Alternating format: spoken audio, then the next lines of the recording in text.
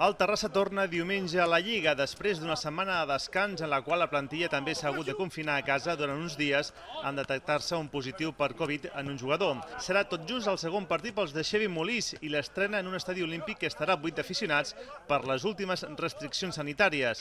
El rival serà la Unió Esportiva Castelldefels, que pot presumir de col·liderar amb l'Igualada al subgrup A de la tercera divisió en guanyar les dues primeres jornades, la darrera contra el Valls per 2 a 1. Pel tècnic del Terrassa, el quadre de Miqui Carrillo ha fet un salt de qualitat respecte a les darreres temporades. Intentarem fer-ho el millor possible, donar rapidesa a la pilota, intentar entrar per bandes, al final una mica el de, lo de sempre, la, el que és el, el nostre equip, i a partir d'aquí intentar sotmetre'ls i, i tot i així serà molt difícil. Eh, sotmetre'ls al final és de nosaltres posar un ritme alt. Si aconseguim això, doncs, eh, estarem una mica més a prop de, de la victòria i si no, ells tenen la qualitat suficient per, eh, per posar-te molts, en molts problemes. Crec que és un equip que, que ha millorat molt de l'any passat aquest, que, que té, té molts bons jugadors i, i si segueixen amb aquesta línia eh, faran molt mal durant la, durant la Lliga. És el nostre primer partit a casa i res, a preparar-ho a tope, els tres punts eh, són importantíssims i més en una Lliga que, que hi ha dos subgrups i,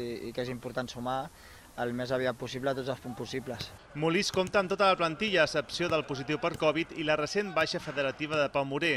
El partit, que serà dirigit per Òscar Carballo Vázquez, començarà a les 5 de la tarda i es podrà seguir per la Ràdio Municipal de Terrassa.